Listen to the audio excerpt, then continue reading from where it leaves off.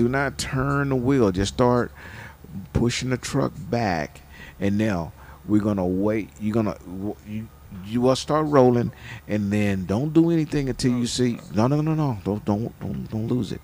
So wait until that trailer starts to to go into the driver side line of the lane you're trying to go into.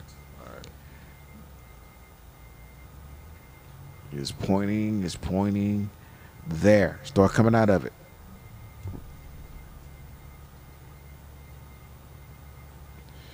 We waited a little bit too late, but now where you are uh, from the driver's seat, uh, see if you look at mine, see how you you fixing to drive right into it, correct? Yeah.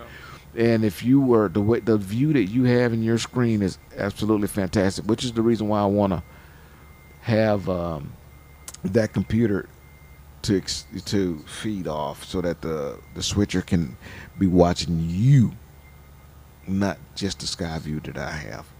But we're gonna work on that. All right, so let's let's go ahead on and keep backing in there. You doing fine.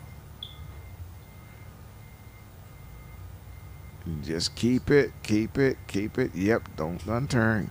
You're going right into your lane. Okay, stop right there. So you see how you